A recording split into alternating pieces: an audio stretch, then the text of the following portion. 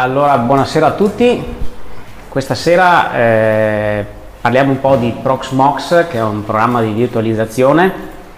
Volevo portare appunto la mia esperienza sull'utilizzo di questo programma che non è lunga, quindi mi scuso in anticipo se dico qualche stupidaggine, qualche incorrettezza. Allora, il programma della serata avevo pensato di introdurre un po' ehm, la virtualizzazione in maniera molto breve perché immagino che qua siete tutti esperti e, e tutti già preparati sulla virtualizzazione. E comunque mi sembrava doveroso anche per magari spiegare alcuni termini che troviamo all'interno di Proxmox per capire in definitiva cosa, cosa stanno a significare. Poi passeremo a presentare realmente chi l'ha fatto, cos'è, cosa, cosa funziona, come funziona Proxmox, cosa fa in, nello specifico.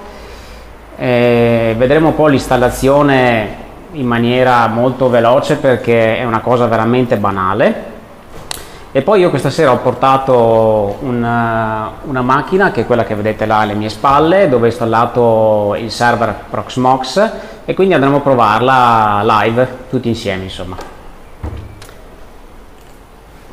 allora che cos'è la virtualizzazione? Quindi da tramite la virtualizzazione è possibile eseguire contemporaneamente più istanze di sistemi operativi in un'unica macchina host.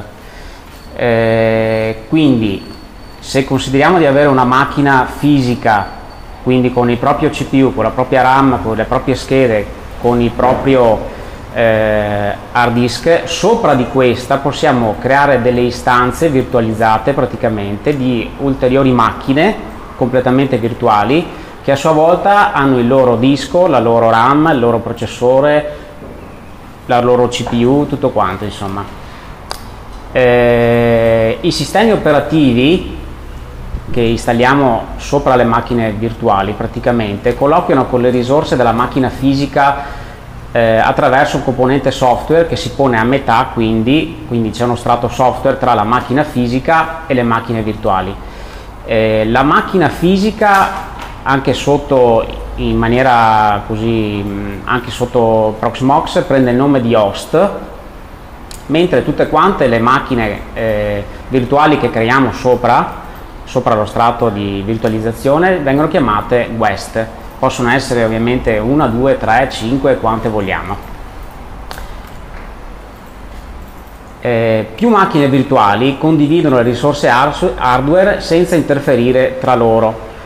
Eh, quindi ogni macchina virtuale che noi montiamo sopra un virtualizzatore che a sua volta è dentro appunto la macchina fisica è completamente separata una dall'altra, quindi io ipoteticamente, anzi come funziona, posso installare qualsiasi tipo di sistema operativo sopra, quindi qua posso installare eh, Windows ad esempio e di qua posso installare Linux, non interferisco in nessun modo, in nessun modo tra di loro perché sono realmente macchine netta, totalmente separate una dall'altra.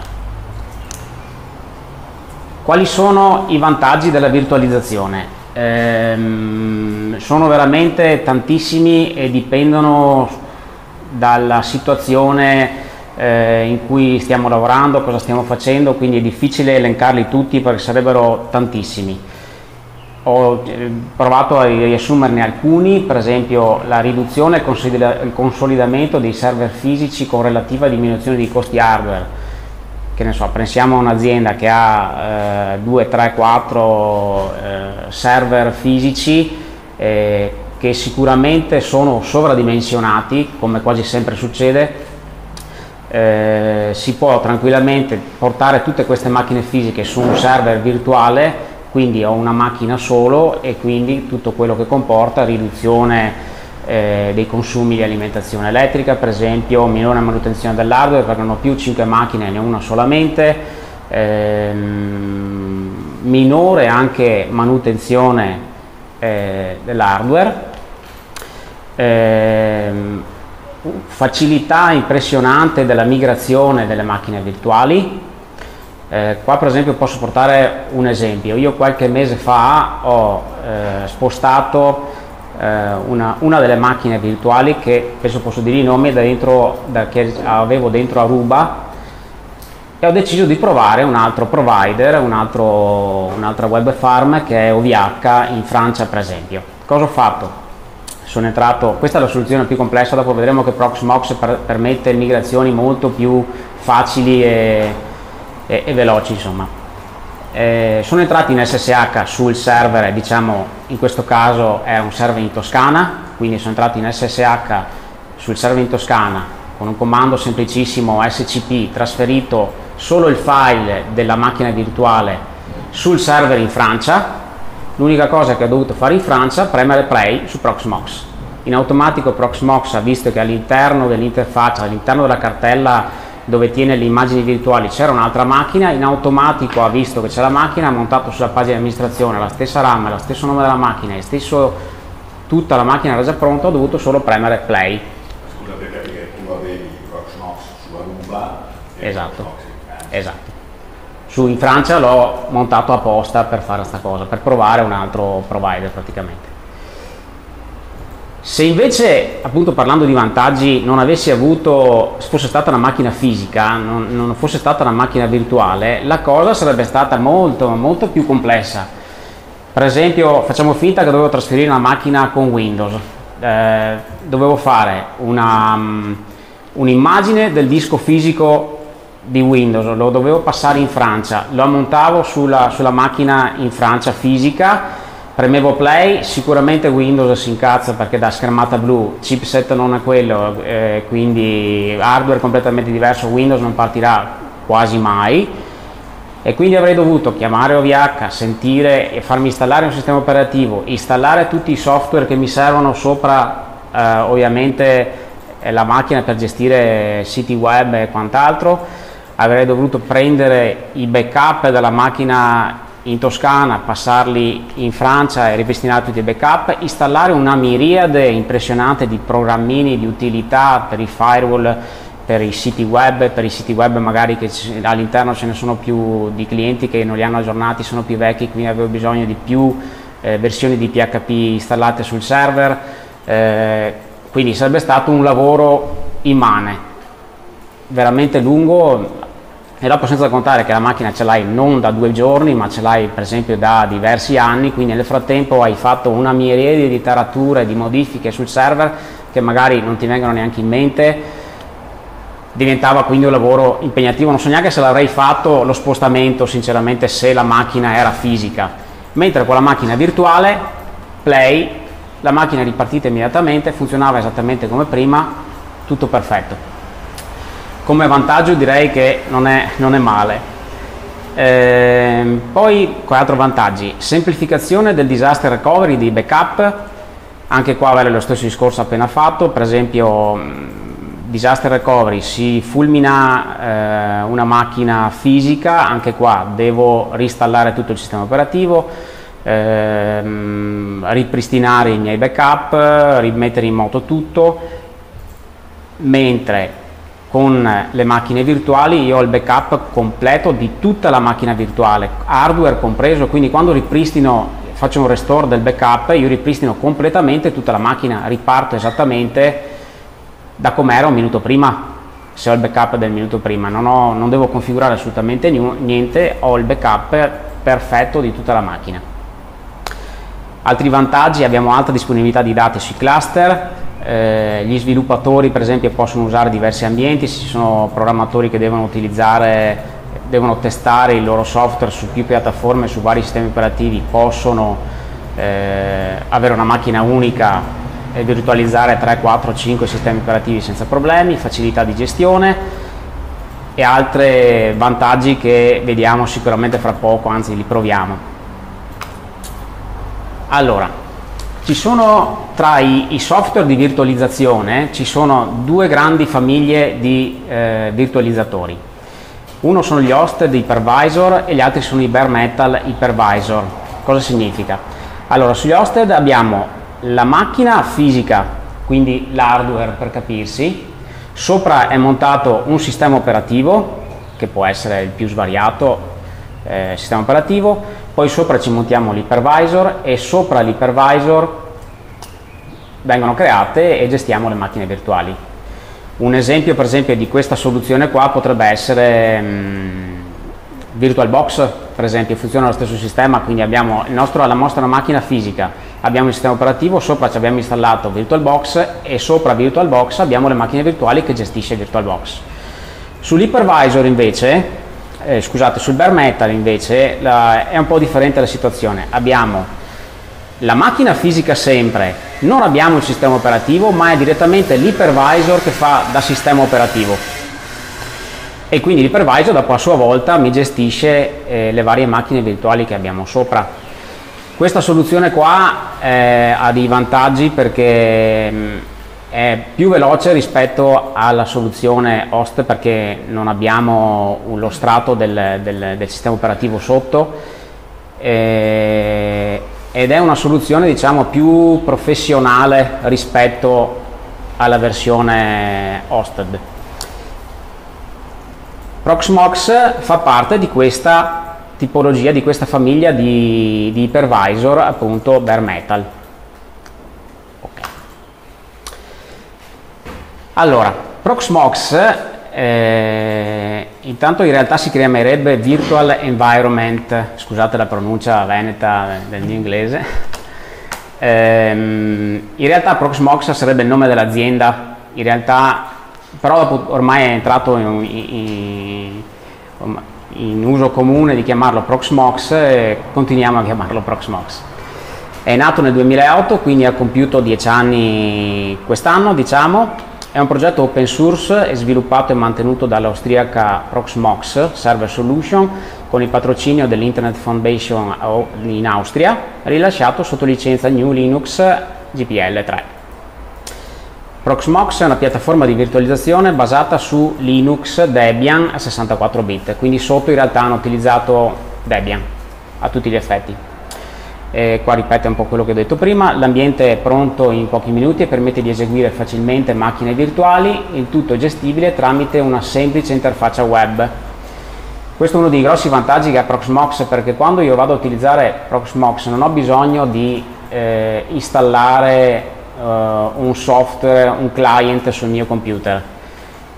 Tutta la gestione la faccio collegandomi direttamente via web al server remoto tramite la pagina web che mi restituisce Proxmox io amministro tutta quanta, tutta la macchina via web, quindi da qualsiasi parte del mondo diventa ultra comodo praticamente.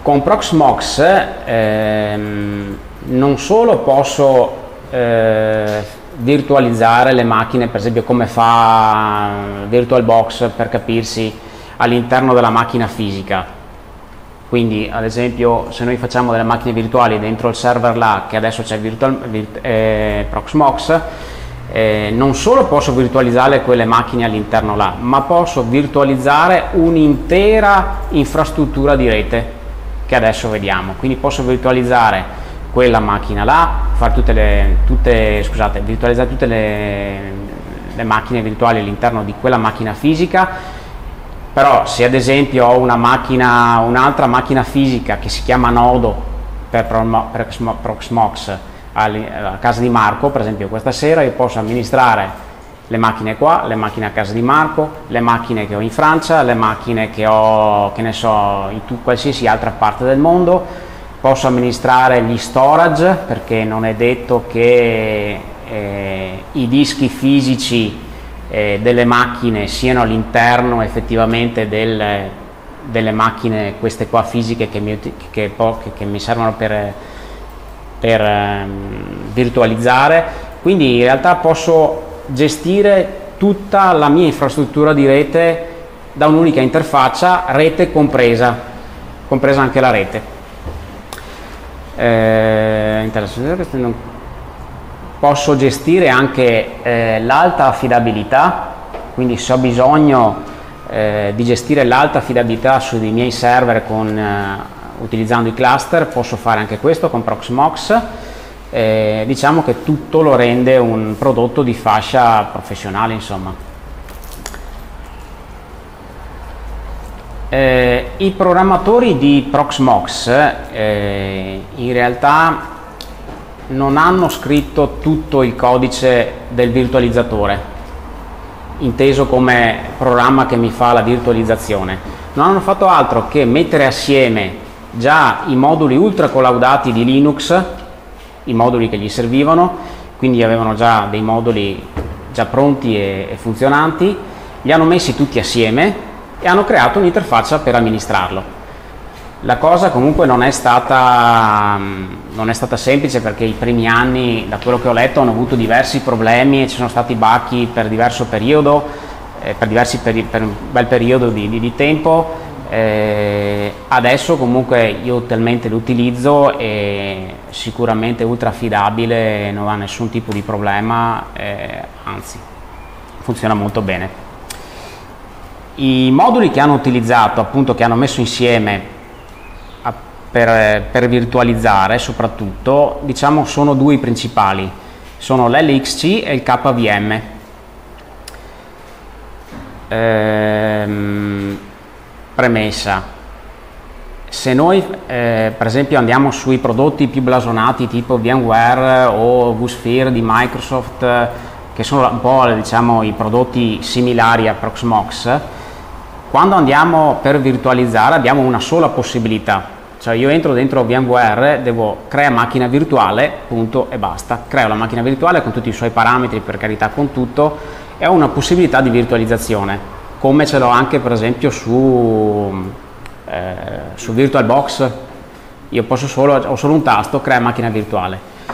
Proxmox invece eh, ha due modalità di virtualizzazione Utilizzando il modulo KVM riesce a fare la full, la full virtualization, cioè la macchina virtuale comple completa di hardware, eh, sistema operativo, tutta completa, che è praticamente la, la stessa macchina che crea, tra virgolette, quella full, eh, che, per, che, crea VMware o che crea VirtualBox, visto che mi hai fatto l'esempio di questi.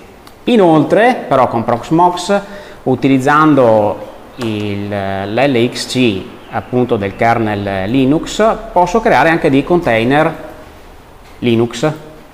Quindi posso creare delle, anche dei container, delle macchine completamente separate Linux con sistemi operativi Linux eh, completamente separate tra loro. Dopo comunque li vediamo eh, più nello specifico. Eh, gli hypervisor più famosi e blasonati appunto VMware eh, non gestiscono i container e quindi l'ho già spiegato. Allora, l'LXC, il modulo che utilizza, che utilizza Proxmox per eh, i container, eh, è una soluzione che i container viene eh, sopportato Linux e LXC in completa sostituzione di OpenVZ eh, perché Proxmox dalla, eh, prima della versione 4 utilizzava il famoso OpenVZ, credo che più o meno tutti avete sentito parlare, e dopo la versione 4 invece sono passati al, all'LXC per vari motivi interni loro insomma. È una tecnologia di virtualizzazione basata sul kernel Linux, ovviamente, come abbiamo già detto, e permette di creare e isolare istanze, che sono chiamate container, multiple sullo stesso sistema operativo Linux. Ogni container, ogni container anche se condivide lo stesso kernel della macchina host che lo ospita, quindi condivide il kernel della macchina eh, Debian in questo caso, ehm, si comporta esattamente come un server autonomo, quindi ogni container è una macchina completamente separata dalle altre si comporta come una, diciamo quasi come una full virtualization. Può essere riavviato da solo, può essere riavviato indipendentemente, avere il proprio utente root, può avere i propri utenti, può avere il proprio indirizzo IP, i propri indirizzi IP, la propria memoria, i propri processi, le proprie applicazioni, le proprie librerie di sistema e i propri file di configurazione. Quindi una macchina completamente separata dal, da tutte le altre e anche dal separate insomma ecco non mi viene il termine ehm, l'unica diciamo cosa negativa se di cosa negativa possiamo eh, parlare che con, che con questo sistema con l'LXC LXC non posso eh, virtualizzare un sistema operativo Windows perché se eh, condivide il kernel e Linux, non posso avere una macchina Linux come eh, una macchina Windows come container. KVM invece, che sta per Kernel Virtual Machine, è una tecnologia di virtualizzazione composta da un modulo kvm.co integrato nel kernel Linux dalla versione 2.6.20.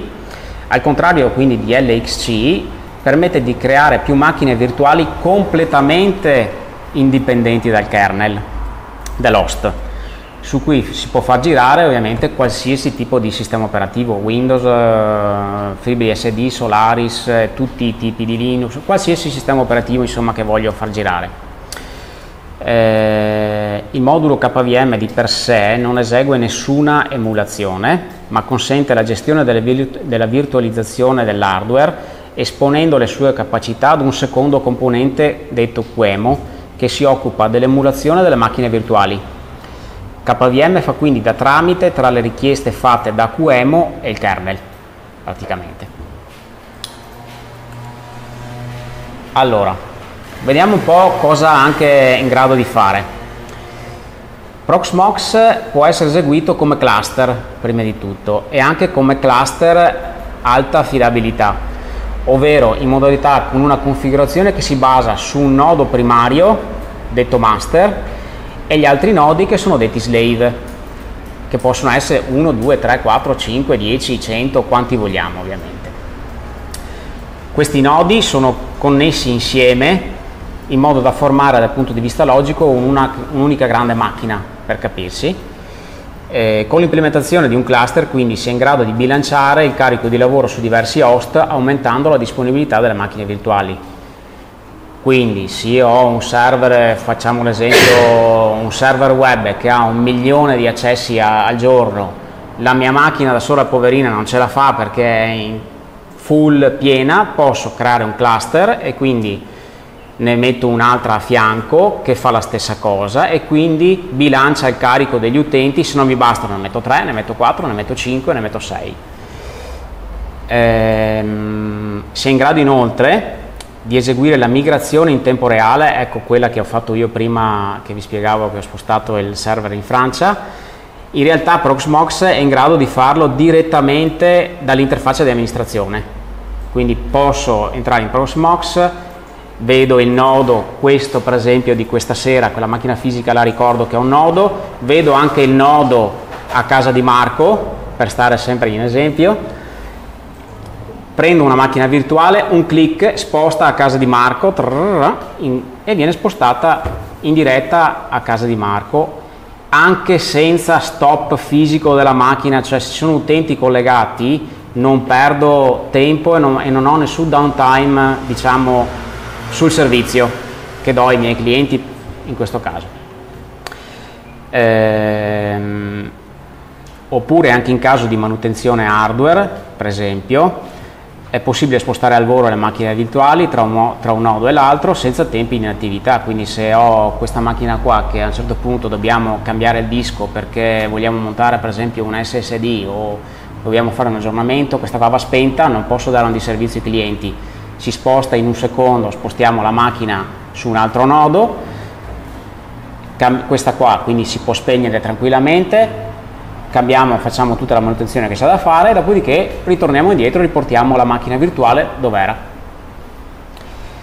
Ehm, poi, in base alla configurazione di una virtual machine o di un container, se è configurato come alta affidabilità, e un host fisico si guasta, la virtual machine viene rinviata automaticamente su uno degli altri nodi che compone il cluster. Stesso esempio, se questo qua è un cluster tra la stessa macchina, abbiamo fatto un cluster che comprende questo nodo e il nodo a casa di Marco eh, ed è configurato in alta affidabilità, che è una modalità appunto per avere la massima eh, affidabilità del sistema se ho delle importanti applicazioni sopra. Mettiamo che questa macchina improvvisamente si guasta o viene tolta la tensione elettrica, quindi la macchina va giù, automaticamente senza chiedere niente a nessuno, senza fare nessuna operazione manuale, Proxmox fa partire immediatamente l'altro la, nodo, l'altra macchina, per esempio nel nodo a casa di Marco per capirsi. Quindi una funzione molto interessante che è stata implementata da un bel po' su Proxmox. Backup e restore. Eh, lo strumento integrato su Proxmox eh, WZDump è in grado di creare backup sia istantanei che schedulati, cioè posso cliccare ok fai il backup immediato oppure schedulare, cioè nel senso eh, faccio i backup per data, per ora, come tutti i programmi di backup. Si possono inoltre creare delle istantanee, quindi degli snapshot, praticamente delle fotografie del sistema, posso, eh, come posso dire, ehm, fermare un secondo, fare un'istantanea del sistema operativo fare quello che devo fare se devo fare degli aggiornamenti, delle cose un po' rischiose, qualcosa che sono, magari può darmi dei problemi, se mi dà il problema ripristino in un secondo lo snapshot e ho la macchina esattamente come prima, perfettamente funzionante. Non è un backup ovviamente, eh. snapshot è una cosa completamente diversa. Eh, per il backup viene creato un archivio compresso o in formato LZO o in formato gzip che comprende sia il disco della macchina virtuale che ho fatto il backup sia tutti i file di configurazione della macchina virtuale, quindi in un unico file gzip o LZO io ho tutta la macchina virtuale, posso prenderla, spostarla su un altro virtualizzatore, portarmela in giro, io ho tutta la mia macchina completa in un file solo. Caratteristiche principali del backup è la completa integrazione con uh, l'interfaccia grafica di Proxmox, eh, posso fare i backup al volo via LVM, quindi i snapshot, posso schedulare i, i job di backup, posso fare backup subito tramite interfaccia grafica, posso fare ovviamente eh, un restore o dello snapshot o del backup sempre tramite interfaccia grafica. E posso ovviamente monitorare tutto tramite interfaccia grafica, tra, posso vedere quindi cosa sta succedendo, cosa sta facendo, posso vedere tutti i job, eh, i processi direttamente da interfaccia grafica.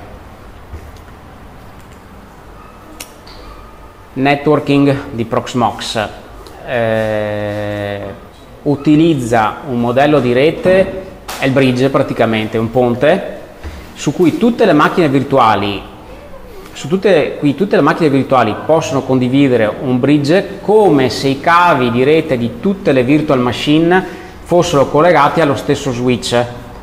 Per il collegamento di macchine virtuali con il mondo esterno, i bridge sono collegati alle schede di rete fisiche dei server host a cui sono assegnate configurazioni di rete. In questo modo è possibile costruire complesse reti virtuali flessibili per gli host sfruttando tutta la potenza dello stack di rete Linux. Praticamente tutto è virtuale. Ho creato le mie macchine virtuali che hanno una loro scheda rete virtuale e sono tutti connessi allo stesso switch di rete virtuale anch'esso. Quindi posso fare configurazioni dalle più semplici alle più stratosferiche dal punto di vista networking eh, posso mettere in rete le macchine virtuali, posso fare un milione di altre cose spaziali che magari vediamo un po' più avanti. Storage. Qua la cosa diventa interessante. Eh, Proxmox utilizza un controllo dello storage molto flessibile le immagini delle macchine virtuali possono essere memorizzate nello storage locale oppure sono storage condiviso come un NFS, una SAN, ad esempio iSCSI, FC eh, e via dicendo. Ehm, quindi quando faccio una macchina virtuale, normalmente su tutti quanti, so che già qua abbiamo fatto già delle serate su VirtualBox, eh, faccio la macchina virtuale e creo subito il disco che è all'interno del computer dove creo la macchina virtuale. Su Proxmox invece è molto più flessibile la cosa, io posso creare la macchina virtuale ma posso dire che il disco della macchina virtuale, proprio l'hard disk eh, virtuale della, della macchina virtuale non è all'interno della stessa macchina ma per esempio si trova su un altro nodo o per esempio se ho la disponibilità è dentro una web farm dove chi mi dà ehm, eh, i servizi ha una SAN, quindi una serie di cluster e, e di server che mi danno appunto eh, la possibilità di collegarmi, di avere un disco virtuale ultra ridondato con tutti i crismi mai possibili immaginabili di sicurezza, quindi posso avere lo storage anche staccato dalla mia macchina fisica. Eh, altro esempio, potrei, posso eh, anche eh, avere che, che ne so, un QNAP a casa, un normalissimo QNAP, si condivide in quel protocollo NFS che è supportato da Proxmox una cartella all'interno del QNAP, la si mappa all'interno di Proxmox, Proxmox lo vede come un disco a tutti gli effetti, lo aggiunge quindi al, allo storage di Proxmox, a quel punto la posso decidere per esempio di eh, automaticamente tot giorno, tot ora faccio i backup sul NAS di casa o su un mio computer, un FreeNAS che ho da un'altra parte oppure su un altro disco di un altro nodo virtuale di Proxmox. È ultra, adesso forse stiamo un po' facendo un po' di, di, di, po' di confusione, ma è molto varia e flessibile la cosa dal punto di vista dello storage. Eh, il, lo storage di Proxmox praticamente supporta qualsiasi tipo di tecnologia che è supportata, supportata da, eh, da, Debian, quindi iSCSI, ZFS, CIF, NFS, eh, tutti i protocolli di, di, storage praticamente disponibili, praticamente tutti quelli di Linux diciamo. L'interfaccia di amministrazione, che abbiamo detto funziona via web.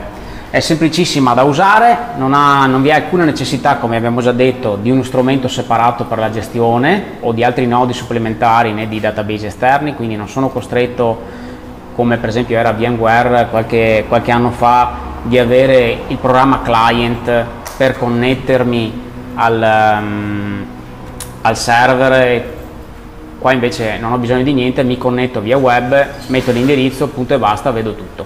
Fine.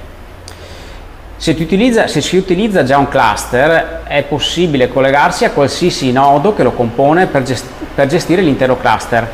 La gestione avviene tramite una console web basata sul framework JavaScript e consente all'amministratore il controllo di tutte le sue funzionalità. Per tornare all'esempio di prima, eh, se io sto amministrando le macchine virtuali su questa macchina che abbiamo dietro le spalle, eh, dove vedo non solo le macchine virtuali che ho dentro questa macchina, ma vedo anche tutte le macchine virtuali che sono all'interno dell'altro nodo a casa di Marco, per tenere l'esempio. E vedo anche tutte le altre macchine virtuali e anche tutti gli altri dischi di rete che sono in giro su tutta la mia eh, struttura. Diciamo. Se sono collegato a questa macchina, questa macchina si rompe, io non è che non ho più accesso a tutta la rete, mi connetto immediatamente al nodo a casa di Marco in questo caso e rivedo tutto il resto della rete, dopodiché avrò modo di ripristinare la macchina, sistemarla e ho sempre accesso da qualsiasi punto che mi vado a collegare a tutti i nodi, ho accesso quindi al, a tutta la mia struttura virtuale. Eh, l'interfaccia ha una ricerca rapida delle, delle, delle, macchine virtuali in grado di gestire migliaia di virtual machine per capirsi, ha una console VNC sicura, supporto SSL, ha una procedura guidata per la creazione di server virtuali e dei contenitori, quindi il eh, KVM e l'XC, eh, una perfetta integrazione e gestione dei cluster, gestione dei permessi su, su, tutti gli oggetti, sia sulle virtual machine, sia sui container, sia sullo storage, e tecnologie Ajax per gli aggiornamenti dinamici delle risorse. Comunque questa qua fra poco la vediamo, quindi facciamo prima a vederla che, che a spiegarla.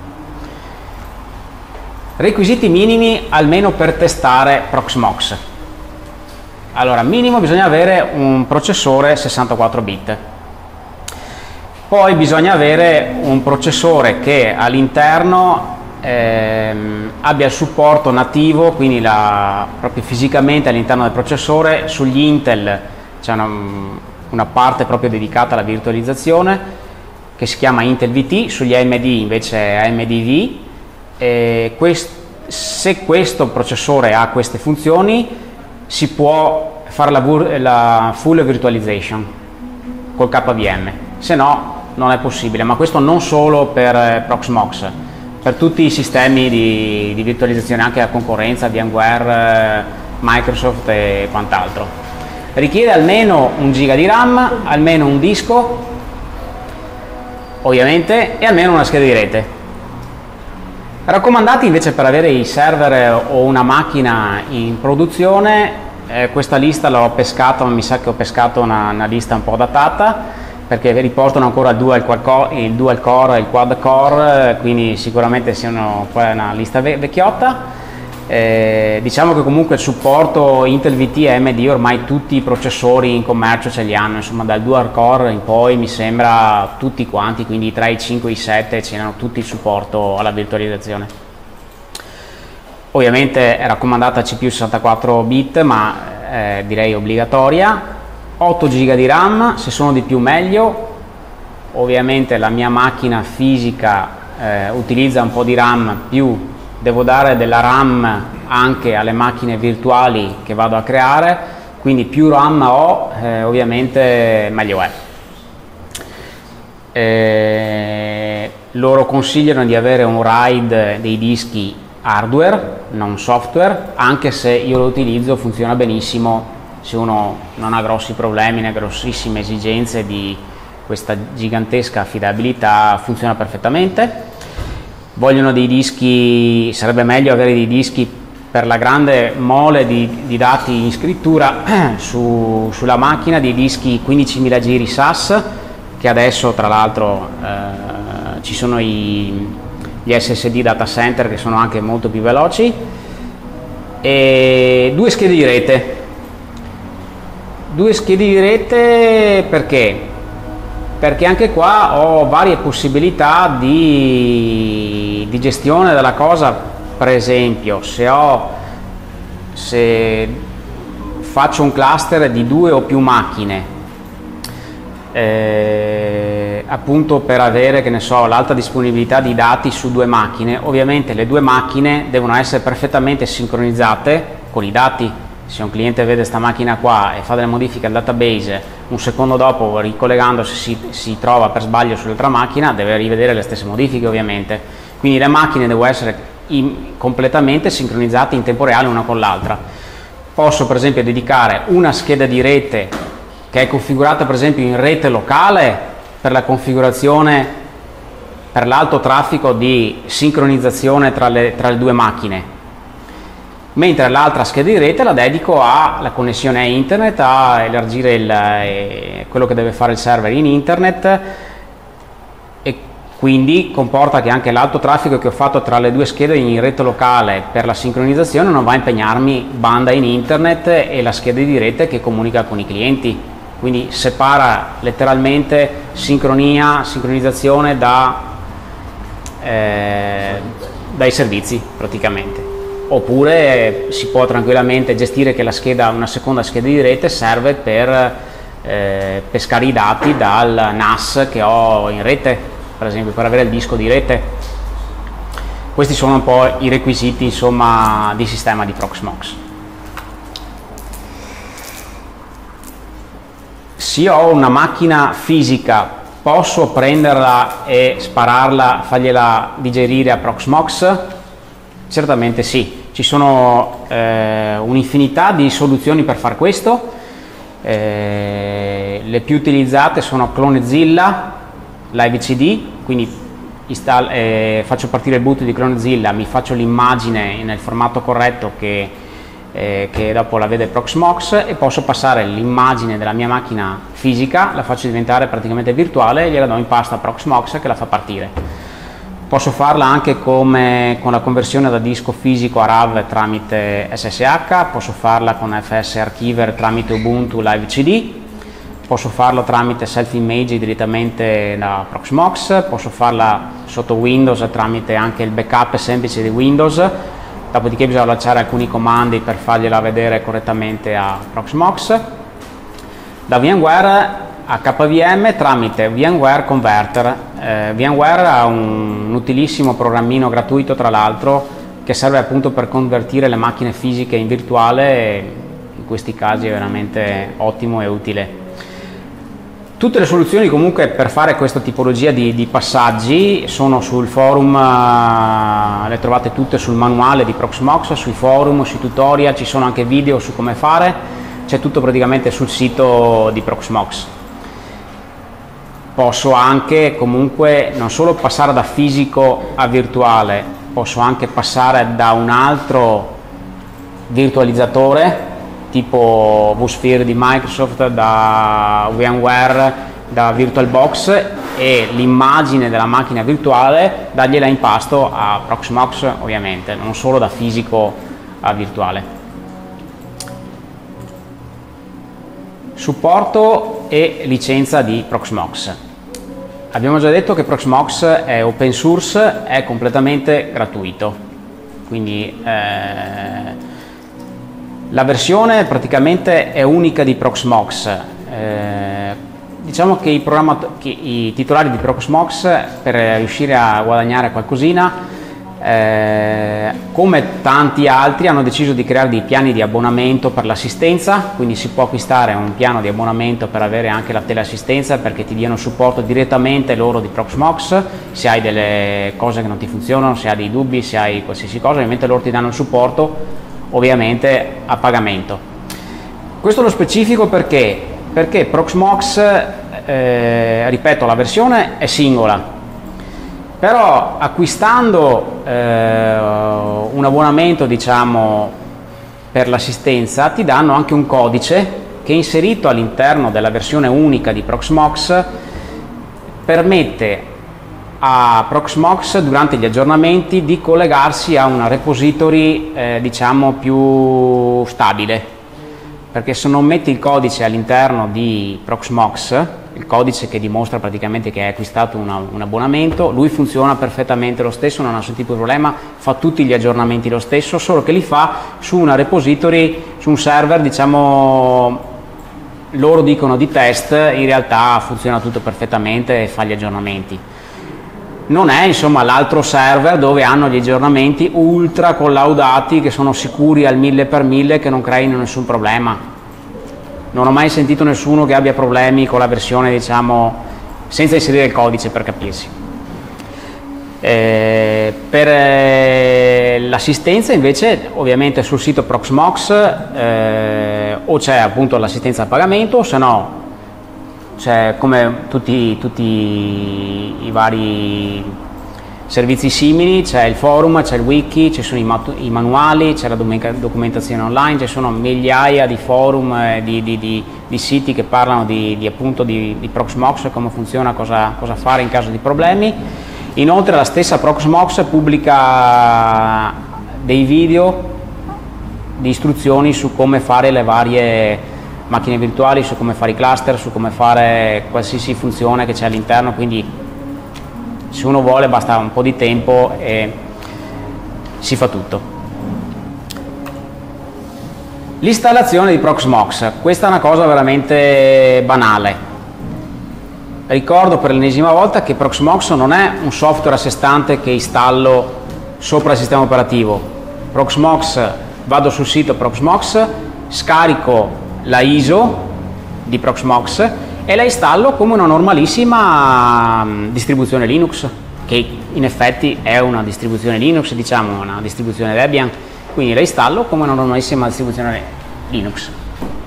L'installazione è praticamente di una banalità disarmante, in tre step praticamente hai fatto tutto.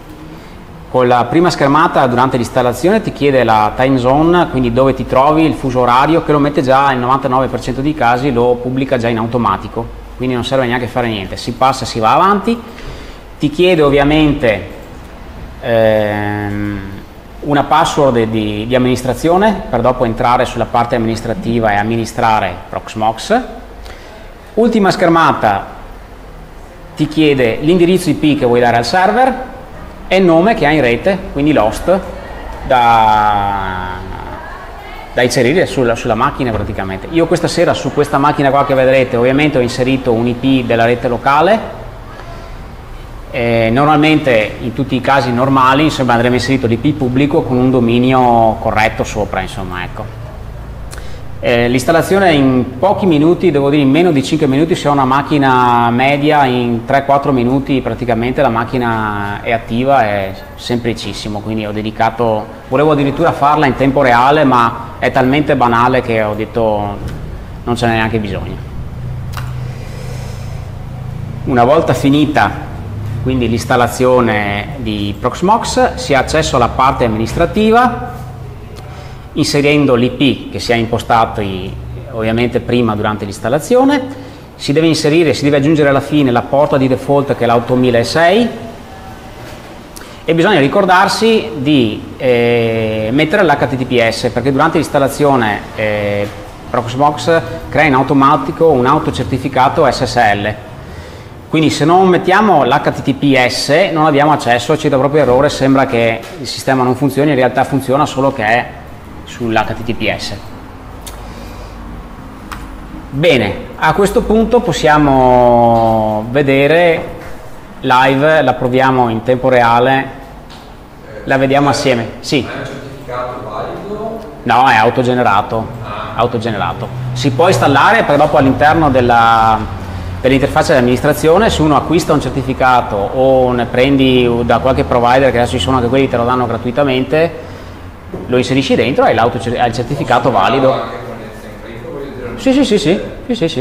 Lo metti dentro e funziona. Allora.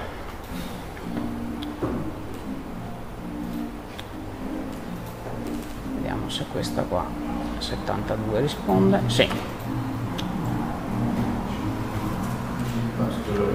Sì. Quando si installa cosa fa? Fa l'installazione quella tutto in una partizione, usa tutto lo spazio disponibile. Se lo installi Proxmox non ha questo tipo di, di configurazione eh, perché è pensato come bar metal, quindi lui se lo metti all'interno, lo installi sull'interno di una. lo installi, se lo lanci l'installazione la ISO su una macchina, lui rasa al suolo tutto e fa quello che vuole distrugge tutto e mette tutti i dischi come vuole lui.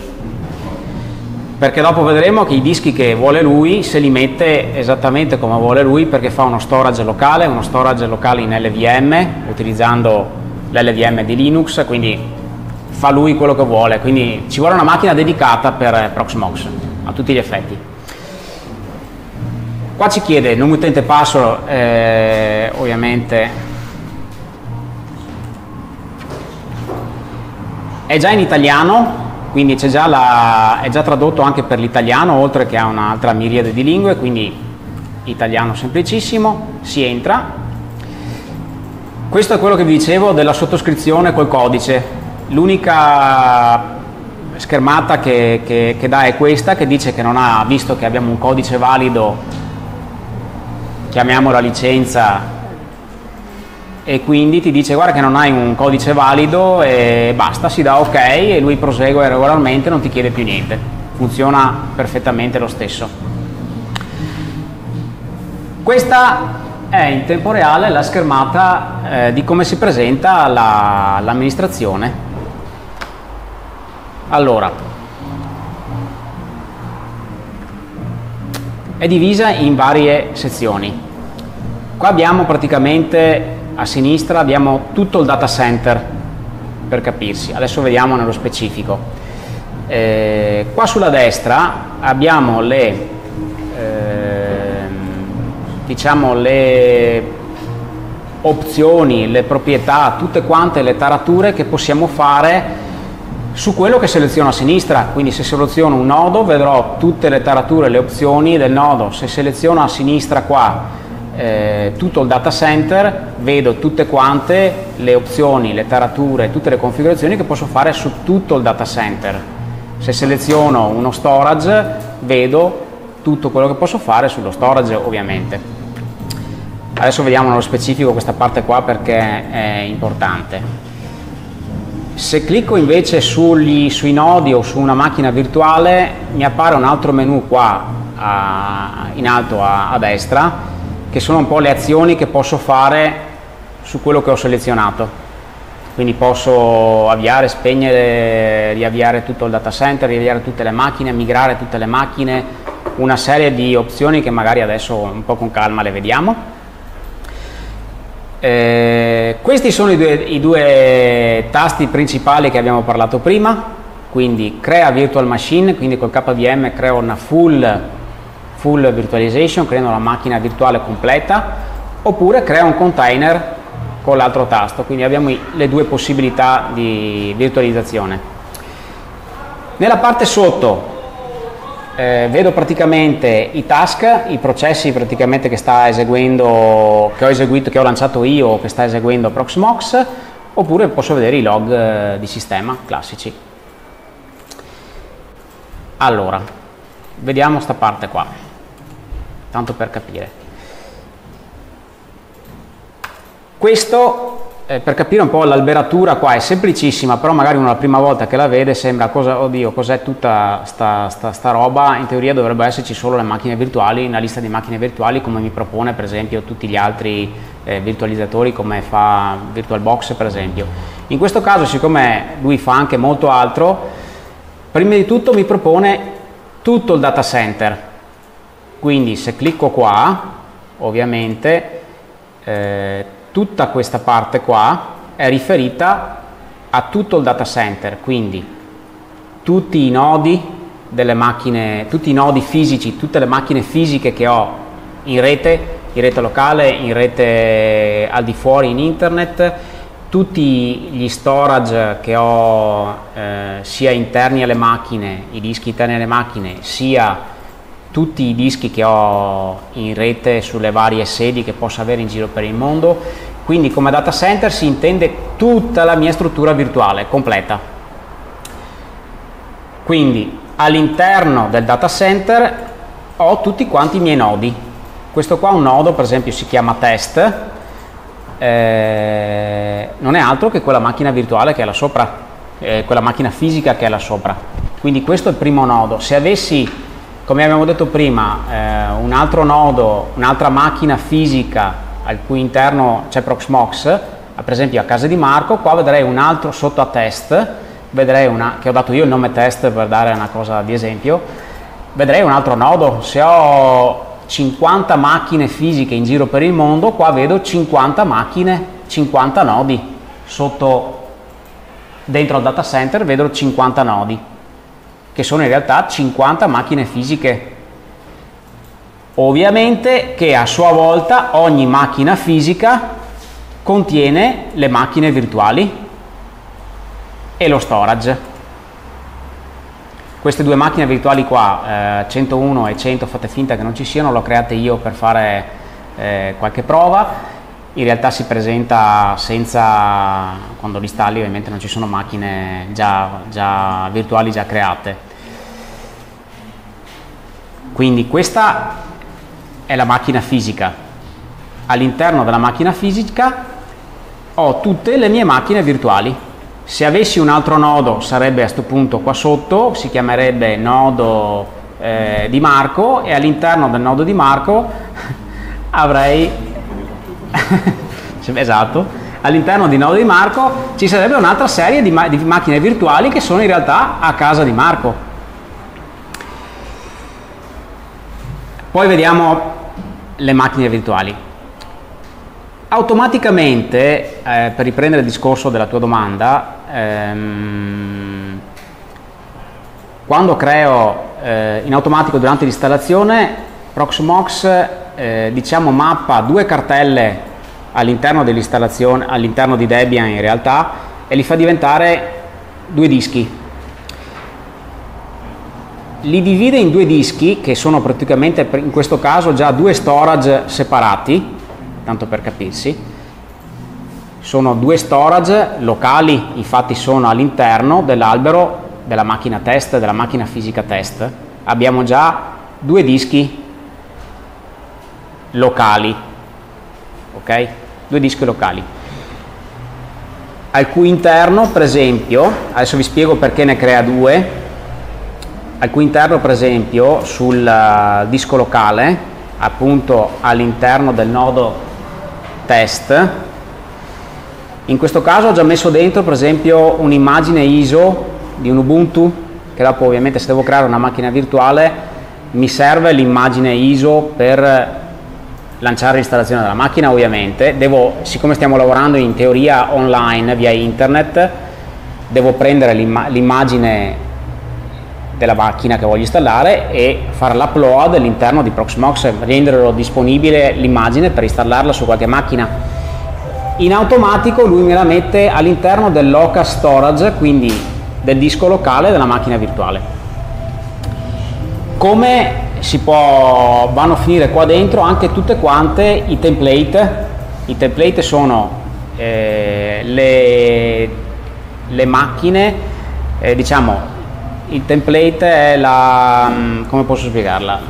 La configurazione, la, già la, la, come voglio il container, quindi la ISO mi serve per installare eh, le macchine complete virtuali. Questi qua invece sono i template che posso o scaricarli, che da qua ho tutti quanti già i template già pronti, direttamente li scarico dai server di Proxmox, mi scarico che ne so, una 106 scarica lancio il container, gli do in pasto già il, il template della 106, tac, in 3 secondi la macchina è pronta.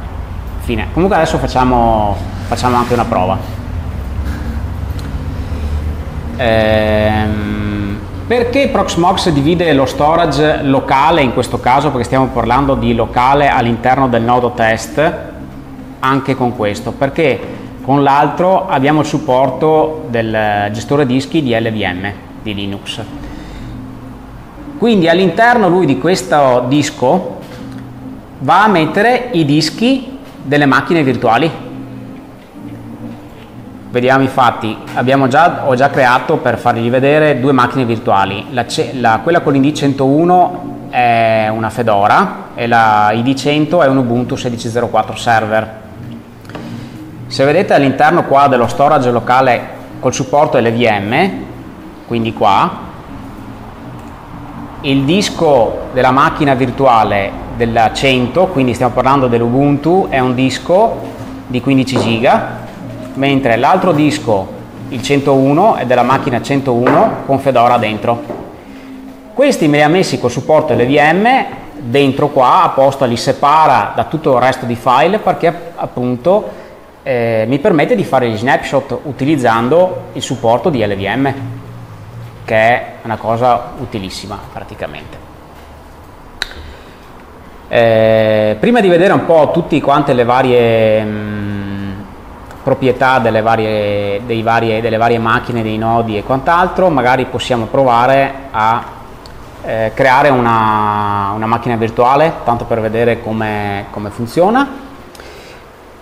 Dobbiamo ricordarci che prima di creare la macchina virtuale devo fare l'upload, ovviamente, all'interno dello storage della ISO della macchina che voglio installare. Per esempio, se adesso decido di installare, che ne so, Linux Mint, mi faccio una macchina virtuale con Linux Mint, devo scaricarmi l'immagine di, ISO, di Linux Mint e andare sullo storage ehm, locale della macchina, faccio carica, gli dico che è un'immagine ISO, scelgo il file dal, dal quello che ho scaricato dell'immagine ISO, faccio l'upload, glielo butto su e lui va me lo rende disponibile non solo per questa macchina, ma per tutte le macchine del mio data center.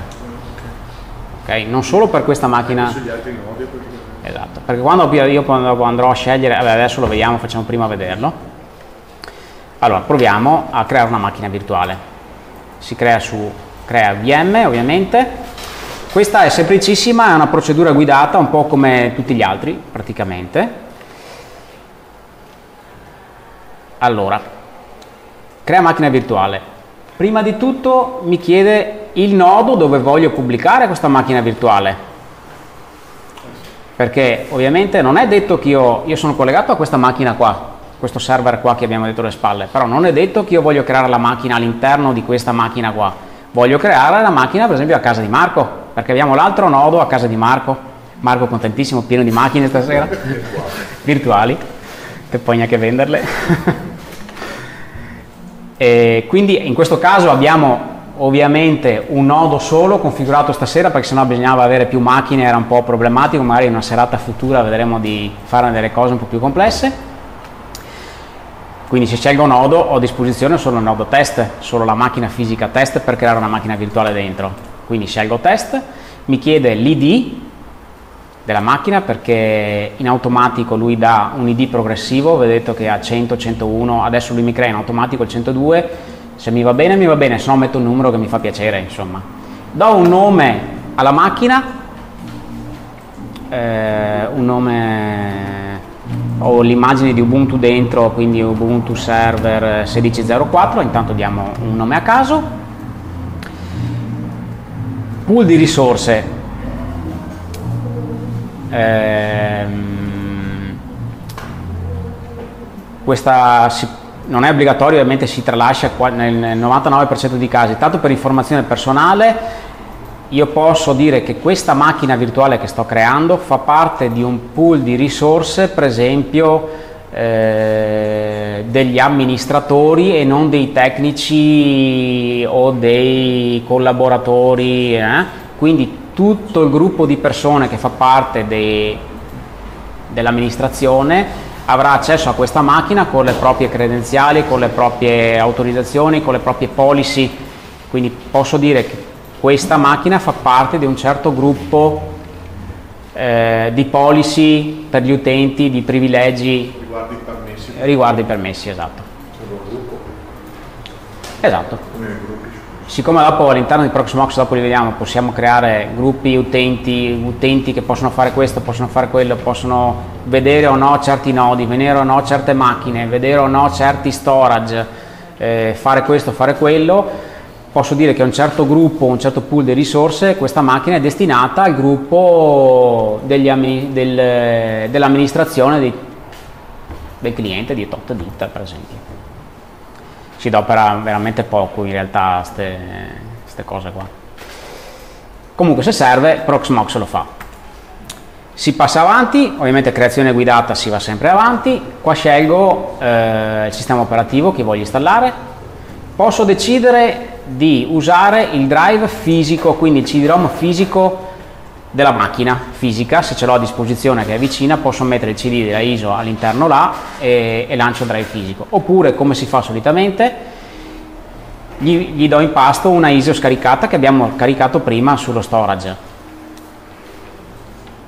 Anche qua adesso mi chiede dove si trova, qual è lo storage dove hai caricato la ISO, perché potrei averla su questo storage locale, ma potrei averla su uno, sullo storage esatto di Marco, oppure potrei averla su una SAN, su una mega azienda, potrei averla su un NAS di casa.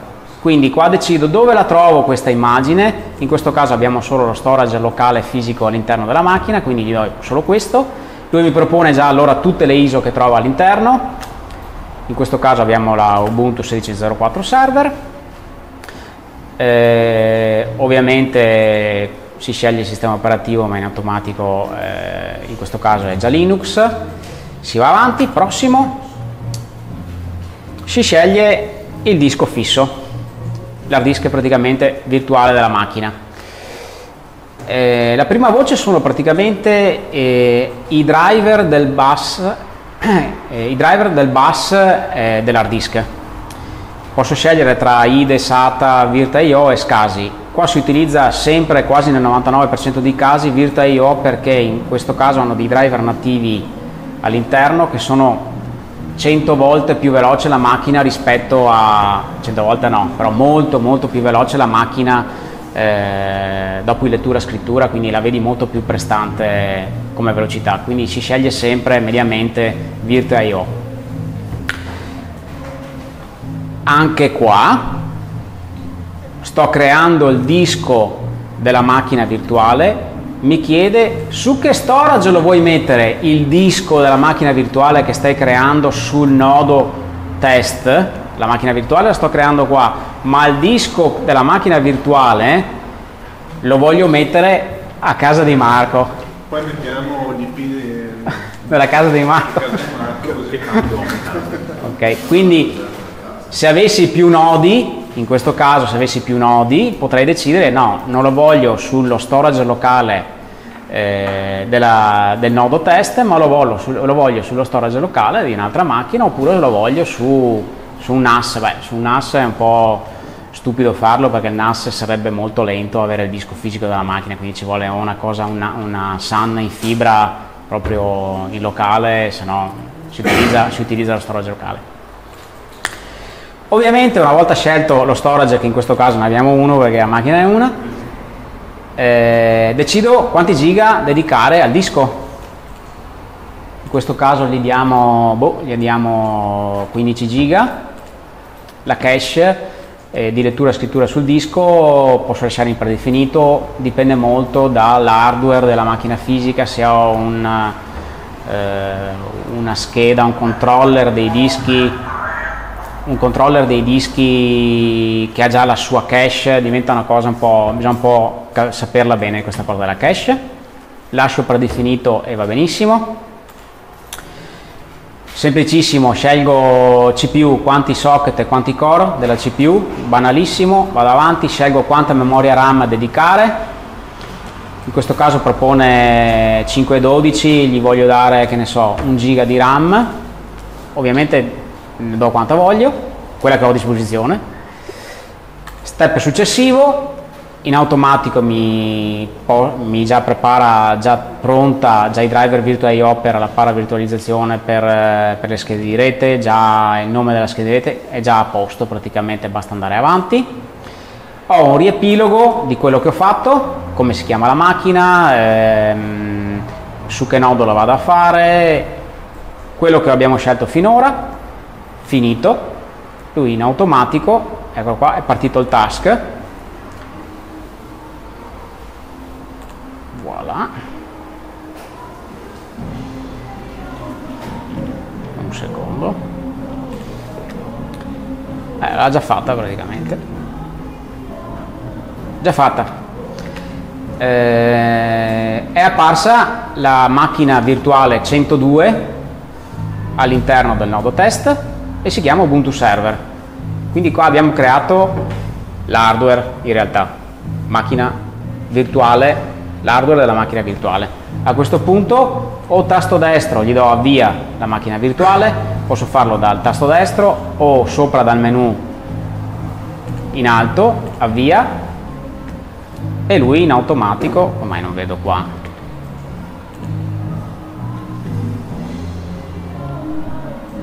vabbè cambiato qualcosa? Già avviata. Velocissimo stasera in maniera pazzesca.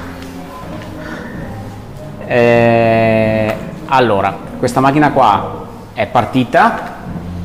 La posso vedere dalla console. Selezionando la macchina virtuale è già avviata. Vedete che è già diventata non è più in, in grigetto offuscato ma è diventata nero pieno con la freccia verde. Vuol dire che la macchina è avviata. Vedo la console per esempio e qua lui mi ha fatto partire l'immagine che le abbiamo dato in pasto prima, ovviamente, quindi questa qua è una normale installazione di, eh, di Ubuntu, scelgo la lingua, passo avanti, vado avanti e finisco l'installazione, è una normalissima eh, macchina virtuale con Ubuntu server all'interno. Qua finisco l'installazione, dopodiché mi connetto alla macchina virtuale come voglio, in SSH, con l'interfaccia grafica e l'interfaccia grafica, come una qualsiasi macchina, come se fosse una macchina fisica a tutti gli effetti. Vantaggi della, della virtualizzazione. Se invece questa non la finiamo perché è inutile andare a finire l'installazione di, di, Ubuntu Server, non è questo il caso di, di, di procedere, non era questo lo scopo della, della serata eh, facciamo, spegniamo la macchina per esempio, spengo la macchina 102, sì, spegniamo, lui la spegne, possiamo per esempio adesso, facciamo l'altra prova, creiamo un container, così vediamo anche questo come, come funziona, anche qua c'è una procedura guidata, eh, leggermente diversa, scelgo anche qua il nodo di dove mettere la, il container, anche qua scelgo l'id del container. Sono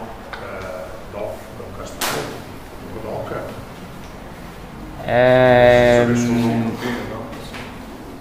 queste qua sono... Tipo, tipo, tipo, sì, sicuramente no, non è, sono immagini Docker.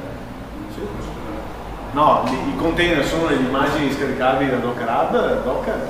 Sì, non è quelli di Docker, non so eh, ma se del sistema operativo, ad esempio di Ubuntu sarà quella che è presente nel Docker? Cioè, non è la stessa, è molto sì. No, ma cioè, questo, quindi è un repo a parte. questo qua eh, lo chiamano probabilmente, è chiamato nello stesso modo, però il container è in realtà a tutti gli effetti un'installazione Linux di sana pianta, qua abbiamo un'installazione Linux completa di tutto il Linux che vogliamo, se ci dobbiamo installare Docker sopra, ci installiamo Docker sopra.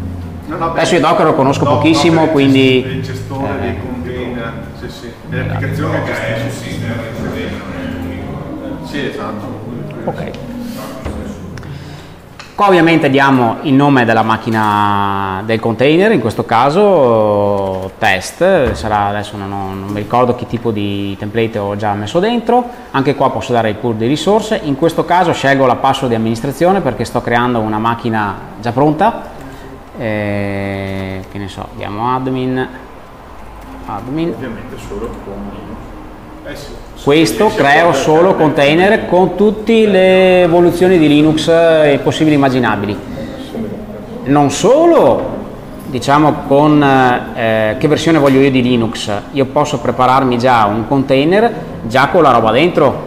Se io nei vari nodi ho sempre bisogno della stessa macchina di una Fedora con già eh, all'interno eh, LibreOffice, già GIMP e già un sacco di programmi già fatti, mi creo il mio template della macchina già pronta, qua me la trovo già e ho già la macchina preconfigurata, adesso vedete i tempi per fare la macchina. Posso eh, fare l'upload e caricare un- già una, una chiave SSH se ne ho bisogno, se voglio farlo, se no entro normalmente con la password. Qua scelgo il template. Come è fatta la macchina, come abbiamo detto. Scelgo dove è il template. Lui ovviamente mi trova tutti i template che ho già messo all'interno dello storage local, come abbiamo visto prima per le, per le macchine full virtualization. Eh, qua posso decidere, ne ho messe dentro tre per esempio, boh, carichiamo una 107 andiamo avanti. Eh, lo storage anche qua il disco locale eh, Cioè eh, tu scarichi il container da un elenco di container di Proxmox sul, sul lo puoi avere tutte le possibilità del mondo. Puoi creartelo da solo il container? Con, tutto quanto ci sono delle- dei programmini apposta per farli oppure eh, ci sono un milione di siti per scaricarle già pronte voglio la, già una container già fatto per, eh, per Mint eh, già con questo Ho capito come, come su Docker trovi il, il contenitore, cioè sì sì no chiaro, è vari, eh, O sem- simili. Esatto, o semplicemente da, eh, l'abbiamo visto prima molto velocemente, da dentro qua l'amministrazione, dove, da dentro l'amministrazione dello storage locale ho già disponibili da scaricare già tutta una serie di tutte le distribuzioni Linux per esempio già pronte, belle e fatte. Scelgo anche qua la dimensione del disco da dare a questo container, gli diamo anche qua 10 giga per fare una prova, un, core va benissimo, a memoria per fare una prova lasciamo 512, anche qua la rete posso dare un IP statico, DHCP, ovviamente qua essendo un container me lo chiede adesso, mentre prima avendo la macchina virtuale dà, lo- le opzioni, tutte queste opzioni qua ce le avevo durante l'installazione del sistema operativo. Qua invece siccome il sistema operativo me lo trovo già installato, lo scelgo prima che IP dare alla macchina. Se, se attivo, se voglio collegarmi di DHCP o con IP statico, per esempio, o un IP o, o l'IP che scelgo. Ovviamente posso scegliere anche i DNS. Se scelgo un IP gli do anche i suoi DNS. riepilogo del container, finito. Lui comincia, parte il task, eh, crea il, container,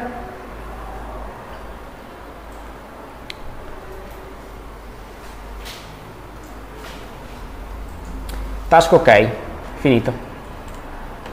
Abbiamo la 103, gli diamo play, Ah, c'è l'icona diversa, adesso ho visto il container e le macchine. Esatto, i container hanno l'iconetta tipo scatola. E mentre le, le- le virtual machine complete hanno invece il monitor come, come iconetta. Un po' come dai Mac, però va bene. La macchina in 4-5 secondi abbiamo creato un'installazione Linux in sana pianta, adesso non so che, che, che template gli ho passato, comunque andiamo a vederla sulla console. Eccola qua.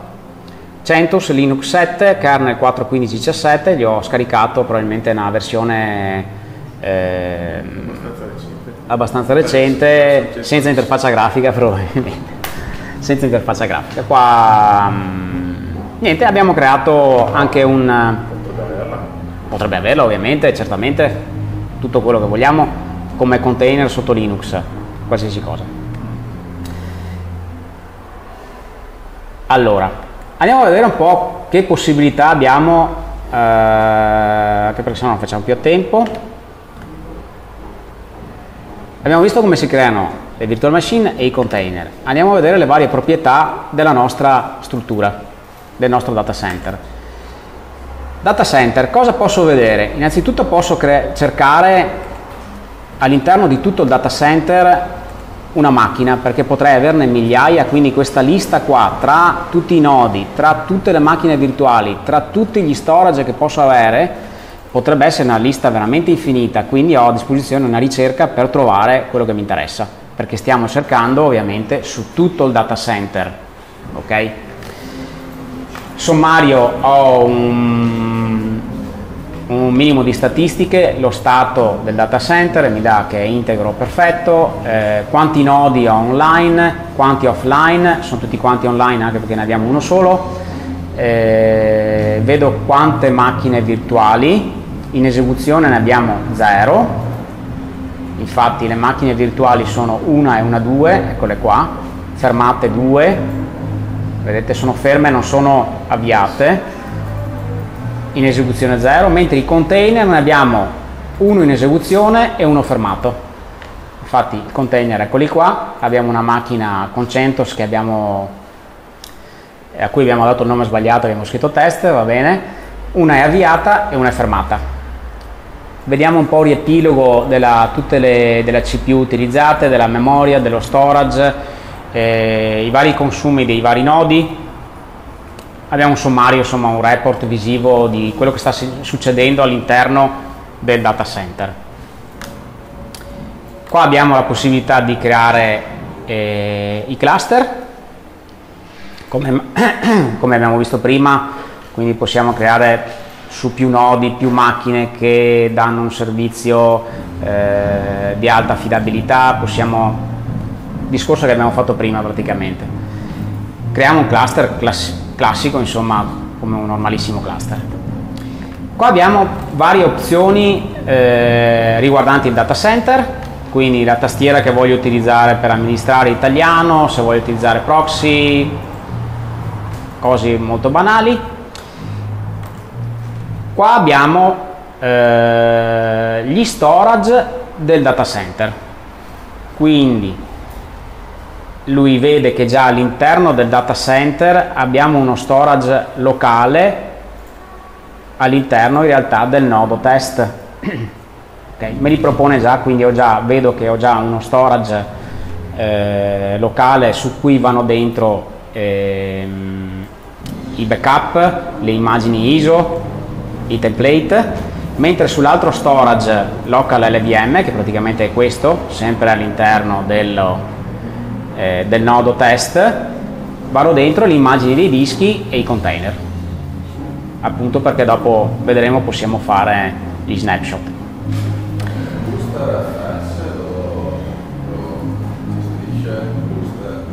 Eh, come tipi di storage, eccoli qua, se facciamo aggiungi, Lui può aggiungere, esatto, può aggiungere una cartella, un altro LVM, un LVM Ting, un NFS, CIFS, Cluster GF, iSCSI, RDB esterna, RDB PVE, tutti i protocolli, praticamente tutti quelli gestiti da Linux, diciamo come protocolli di rete.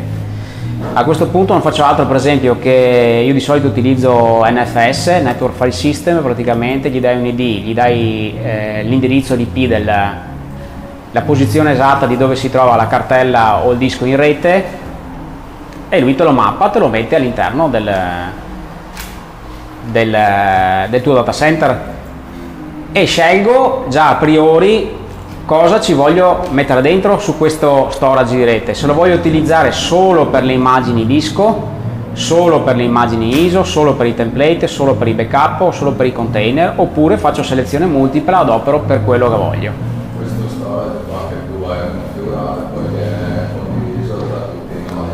Esatto. A meno che non faccio delle policy sugli utenti che certi utenti non possono vedere questo storage.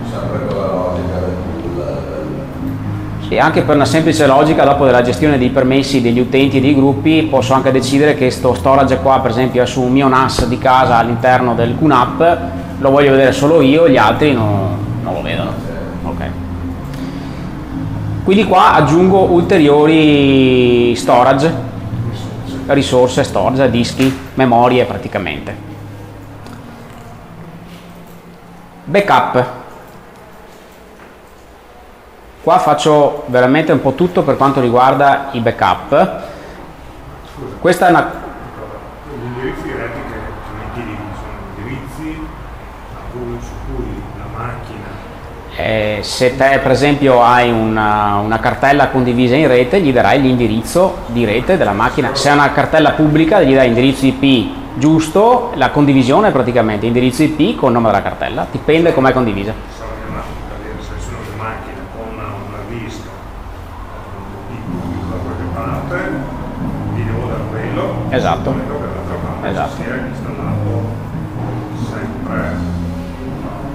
No, dall'altra parte eh, praticamente puoi fare quello che vuoi, puoi anche in questo momento creare una cartella NFS all'interno della tua macchina, eh, mi dai l'indirizzo esatto di dove si trova, la inserisci qua, lui mappa la cartella e vede la tua cartella come uno storage di rete, quindi a quel punto io posso prendere, decido di fare i backup all'interno della cartella dentro il tuo computer. All'interno del tuo computer non è necessario avere Proxmox, basta che ti crei una cartella condivisa in, in tutti i formati disponibili, insomma. No, no, no, tranquillo. No, in ottica hyperconvert come si comporta Proxmox? Cioè posso sfruttare e condividere tra i nodi lo storage locale del server per uno storage In realtà molto di più. In realtà molto di più perché dopo vediamo magari dopo ehm, sulle varie, è una cosa abbastanza avanzata. eh, Cioè dischi fisici collegati con quel col sistema tipo LVM distribuito posso farlo? una roba così. Sì, sì, sì, sì. Sì, l'ottica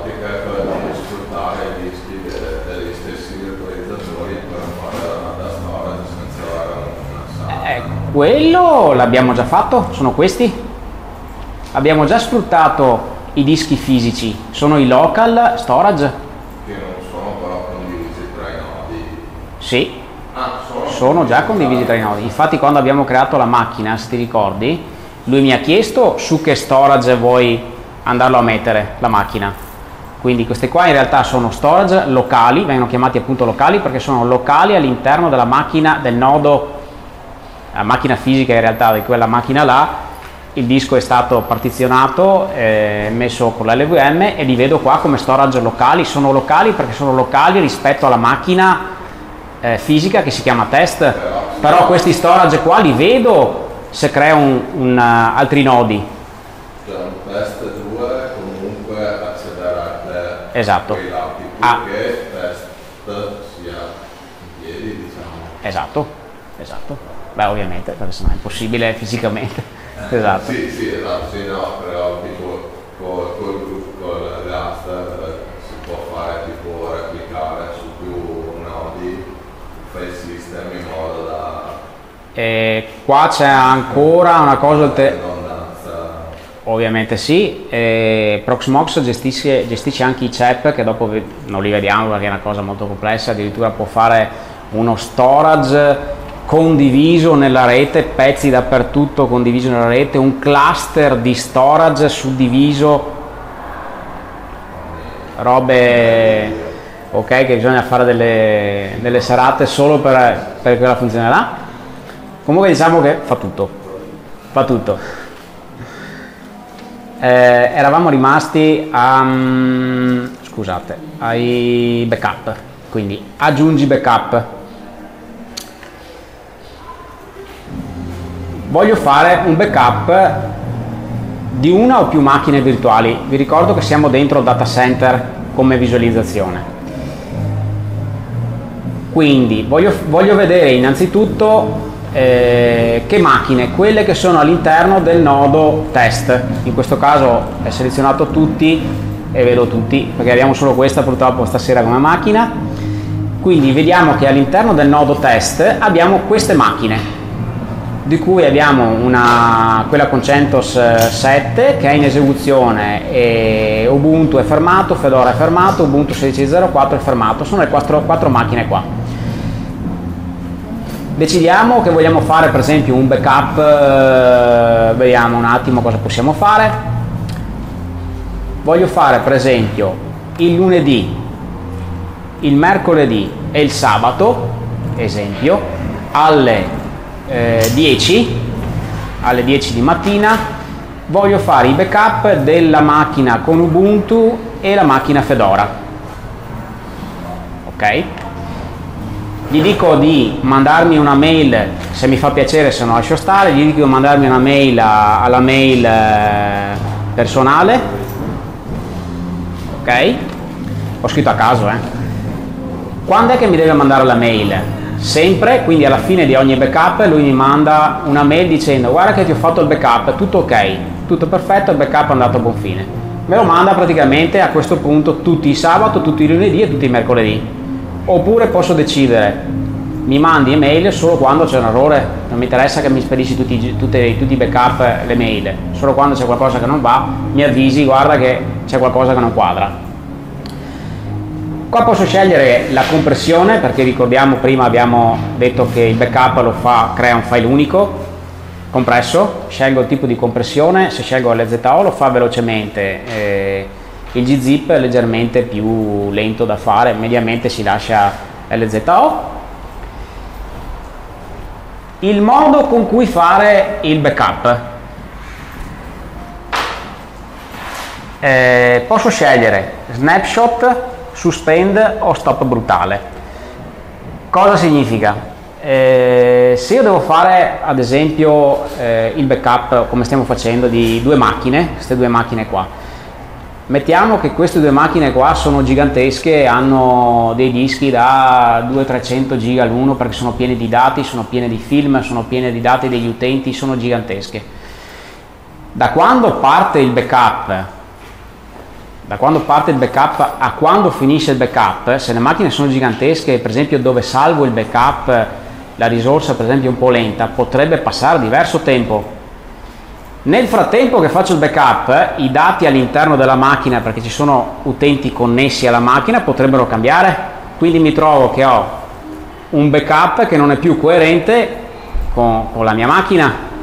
Se per esempio all'interno della macchina ho un database con un sacco di utenti che ci scrivono dentro, io ho un backup che in realtà non, non, corrisponde alla realtà perché da quando ho lanciato il backup è passata un'ora, nel frattempo in un'ora gli utenti hanno già cambiato 100.000 eh, re, record sul database per esempio.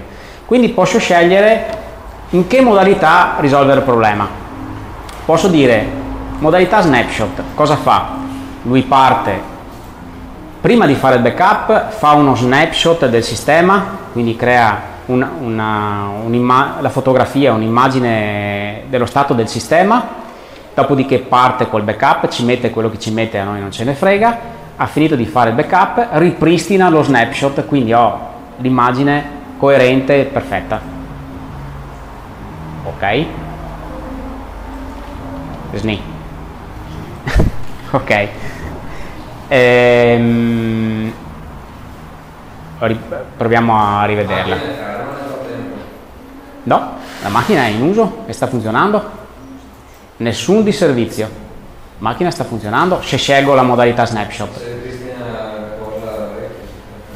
No, fa ripristino sul backup però, perché noi stiamo parlando del backup. Rivediamola sta cosa. Allora, sto facendo un backup di una macchina che è gigantesca e quindi salvarla sul NAS di rete di casa, per esempio perché la sto salvando via internet, ci mette tre ore. Nelle tre ore il mio backup non è più coerente con la mia macchina, perché nel frattempo la macchina, gli utenti che ci lavorano dentro è cambiata. Se voglio mantenere quindi che sia integra, devo prima fare uno snapshot, una fotografia, una istantanea di come si trova il sistema. Ok? Quindi lo snapshot vuol dire faccio eh, una fotografia proprio dello stato del sistema adesso. Ci mette un secondo a fare lo snapshot. Quindi non è che salva tutto il disco per fare lo snapshot, salva solo le modifiche eh, e altre cose, non stiamo qua a, a spiegare nel dettaglio. Quindi prima di cominciare a fare il backup lui si crea un'immagine dello stato di fatto adesso del sistema, della macchina che voglio salvare. Parte, fa il backup, ci mette 4 ore, 2 ore, quello che è. Quando ho finito di fare il backup, quel backup che avrò non è più, perché è passato tanto tempo, non è più coerente con la macchina reale che avevo prima. Ripristina lui in automatico lo snapshot e quindi ritorna allo stato dello snapshot di prima, quindi la fotografia della macchina virtuale è esattamente come quando io ho cliccato ipoteticamente file backup, perché in realtà non è passato tempo per la stesura, per la, effettivamente per la copia e per la montare... Salva solo l'istantanea. Salva l'istantanea dello stato del sistema. E se ne frega delle modifiche che fanno nel Se ne, se ne frega delle modifiche. Cancella la snapshot. Non ripristina, ripristina se- sembrerebbe che ripristina lo stato precedente, invece no, cancella la snapshot. Cioè lui fa la snapshot, fa il backup della snapshot No, e poi cancella la sono due cose diverse. Lo snapshot è una cosa e il backup un'altra. Lo snapshot è la differenza Esatto. che interviene per quando tu fai partire il backup e quando lo completi, poi lui lo ripristina nel senso che riporta nell'immagine lo stato completo. Esatto. Sono due cose separate. Backup, backup completo della macchina, salva tutti i file, tutti tutto il disco, tutte le configurazioni, tutta la macchina. Lo snapshot è solo le differenze, come spiegava lui, è solo la fotografia all'istantanea del sistema e delle modifiche che posso andare a fare praticamente, successive. Quindi no. È coerente, è coerente al momento in cui ho fatto lo snapshot. Quindi in realtà lancio lo snapshot e il backup subito con lo snapshot allegato assieme praticamente. Adesso alle 22.45 voglio il backup delle 22.45. Il backup fa prima lo snapshot 22.45. Fra 4 ore ipoteticamente abbiamo finito di fare il backup prima di salvarlo lui ripristina sopra il backup glielo mette sopra perché sono due cose separate ripristina lo snapshot e abbiamo lo snapshot delle 22.45 quindi la macchina è esattamente com'era alle 22.45 Elimina le modifiche che sono state fatte da quando è iniziato. esatto. Praticamente sì. Questo serve perché utilizzando questa modalità qua snapshot se, se la macchina è attiva e serve che sia online 24 ore su 24 la macchina non si ferma. Non abbiamo avuto disservizi finché il sistema faceva il backup perché per, se no per fare un backup coerente dovremmo dire ok fermo la macchina stop brutale finché fa il backup allora sì, gli utenti entrano, non fanno nessuna modifica e quando ho finito il backup il backup è perfetto, giustamente. Ma siccome potrei dire no, la macchina deve essere online 24 ore su 24, non posso dare di servizi a nessuno perché il server fa server di posta, server eh, eh, fa qualsiasi cosa che, che non può essere fermata, scelgo lo snapshot, quindi ho risolto il problema di backup con la macchina perfettamente online. Se no posso dire me la sospendi o me la spegni se non me ne frega niente, per esempio se una macchina mia di casa eh, ho dentro solo i film che me li guardo su- sulla televisione, anche se me la spegni alle 3 di notte, chi se ne frega, dipende appunto da- da- dall'utilizzo che andiamo a fare. Insomma.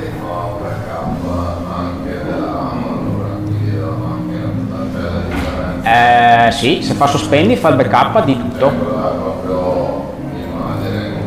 Eh sì, eh sì, fa completamente.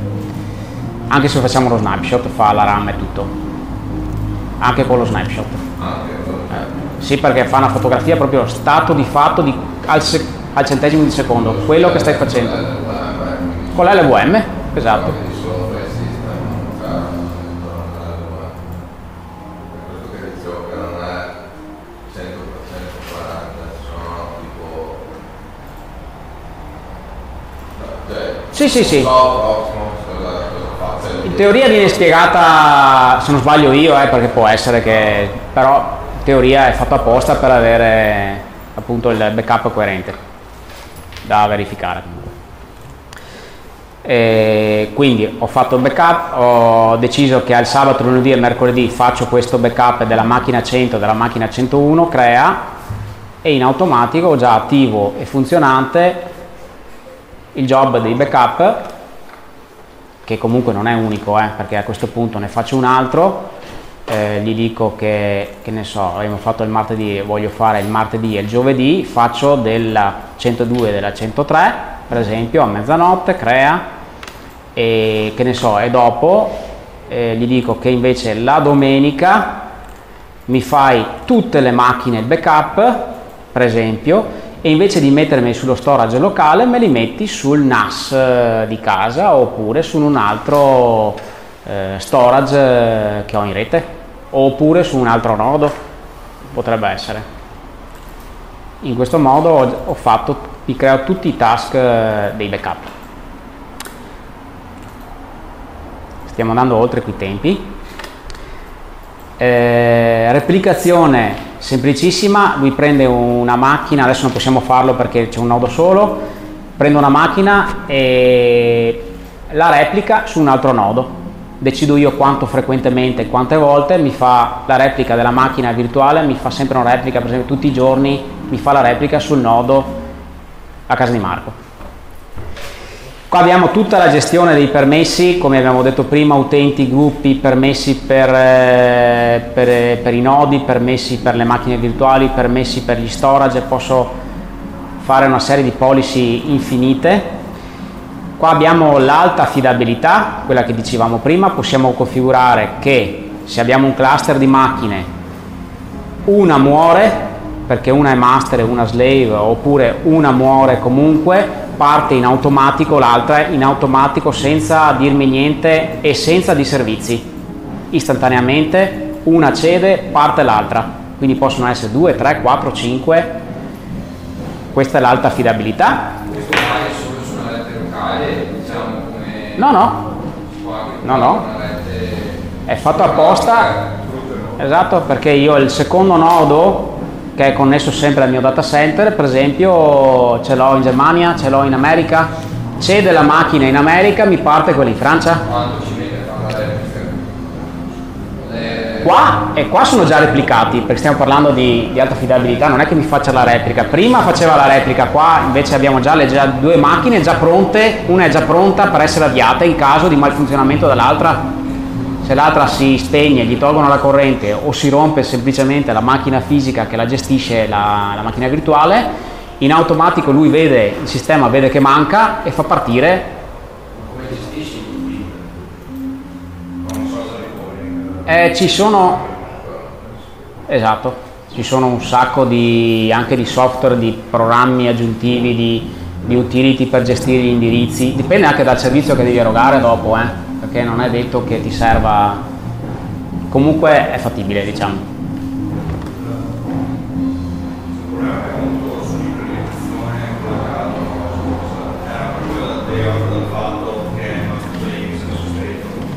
Scusa ma non ho sentito perché c'è la musica. problema che ho avuto con l'implementazione di Cosmos è che la CAS funziona in modo eccessivamente manuale, cioè se il nodo principale cade, il, l'altro, nel secondo nodo prende in carico le macchine virtuali, Una volta che il primo nodo riparte,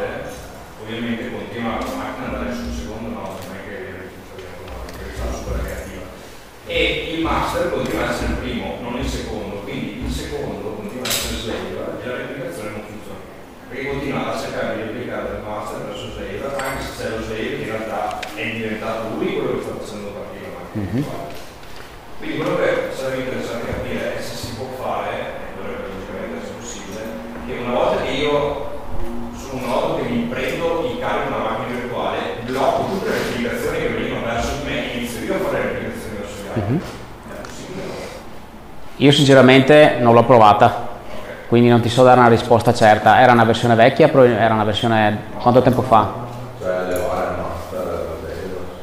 Sì, perché la CAS si basa sulla replicazione, cioè o una memoria esterna, però diventa in NAS, diventa un numerico, ma sempre se fossero replicazioni, il master replica verso lo slave e tutto bene. Quando lo slave parte, il master è morto, ri- rivive dopo qualche minuto, dopo mezz'ora, eccetera, e continua a voler replicare lui sullo slave.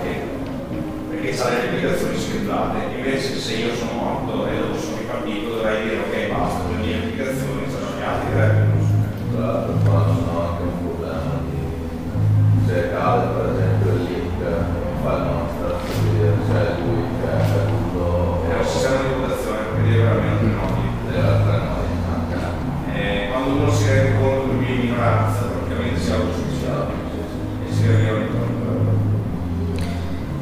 Non- sinceramente non l'ho provato, quindi non so darti in realtà una risposta certa sulla cosa, bisogna un attimo vedere. sempre canali Ovviamente eh, posso gestire il firewall del tutto del data center, mentre su supporto niente, potrei se inserisco il, il codice di Proxmox, quello che dicevamo prima che ti danno in caso che compri l'abbonamento, eh, qua vedi insomma il piano di supporto. Se invece vediamo a questo punto molto velocemente eh, le opzioni del, del nodo, anche qua ho eh, la ricerca del nodo, perché all'interno della macchina fisica potrei avere un tot di macchine virtuali, quindi posso cercare la macchina virtuale. Anche qua vedo come è messo fisicamente tutto il nodo, carico della CPU, utilizzo della RAM, con tanto di grafici della CPU, carico del server, eh, utilizzo della memoria, il traffico di rete sia in ingresso sia in uscita del nodo. ok? Qua posso direttamente accedere alla shell della macchina fisica del nodo, ok? Normalissimo. Ehm, qua vedo tutta quanta un, un insieme di sistemi di configurazioni di rete, certificati di DNS, dell'ora, eh, una cosa abbastanza semplice. Qua vedo gli aggiornamenti, gli aggiornamenti fisici eh, della macchina. Posso gestire anche qua il firewall relativo a questo nodo, posso gestire, vedo lo stato dei dischi, dei dischi fisici del nodo, quindi molto interessante, mi dà subito uno stato visivo eh, dello stato dello smart, leggendo smart del, dell'hard disk, quindi vedo che è passato, comunque posso anche eh, fisicamente vedere i dati smart del disco per vedere se ci sono errori, scrittura, letture, se il disco è sano. Questo è quello che dicevamo prima, che ovviamente non lo possiamo vedere, che si può creare, SEP si può creare una, uno storage condiviso in rete, un cluster di storage, ovviamente non lo possiamo vedere adesso, possiamo gestire la replicazione su un altro nodo del nodo, eh, no, delle macchine all'interno del nodo, scusate. Qua vedo semplicemente la cronologia dei task, che sono gli stessi che vedo sotto. Sottoscrizione, posso inserire la chiave che prima parlavamo se acquisti il codice di, da Proxmox direttamente.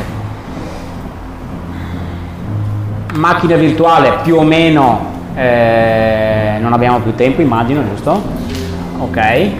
Macchina virtuale più o meno eh, sono le stesse cose, le differenze sostanziali abbiamo il, eh, come backup della macchina virtuale abbiamo l'opzione file backup subito, immediatamente, come tasto, creo il backup immediato, oppure, discorso di prima, creo lo snapshot immediato. quindi adesso io devo eh, installare un programma, fare qualcosa degli aggiornamenti che potrebbero essere a rischio, non voglio essere sicuro che in caso posso sempre tornare indietro al minuto prima, mi faccio della 103 file uno snapshot subito, gli do il nome eh, che ne so, prima aggiornamenti, ok, descrizione fatto il, eh, in data adesso, fai snapshot, fatto, abbiamo un'immagine fatta in tempo reale della macchina 103. Adesso io faccio tutte le modifiche del mondo alla macchina 103, la distruggo, spacco tutto vado qua, seleziono ehm, lo snapshot, lo ripristino e la macchina torna esattamente allo stato di prima, semplicissimo. Ovviamente posso fare eh, un firewall dedicato alla macchina virtuale, quella che sto vedendo, il resto non abbiamo più tempo, quindi più o meno le, a grandi linee le stesse cose che ci sono per i nodi. Altre cose da dire, per esempio, possiamo ho bisogno di una copia su questo nodo della macchina, per esempio voglio una copia della macchina di Fedora perché la Fedora è online, mi serve una copia, un'altra macchina virtuale uguale identica perché voglio fare delle prove senza fermare l'altra, faccio clona macchina, ovviamente gli dico la vuoi sullo stesso nodo, la vuoi su un altro nodo, mi dà un altro id, il nome della macchina, clone boh, eh, Fedora per esempio, pool di risorse, ok, clona, tanto per far prima.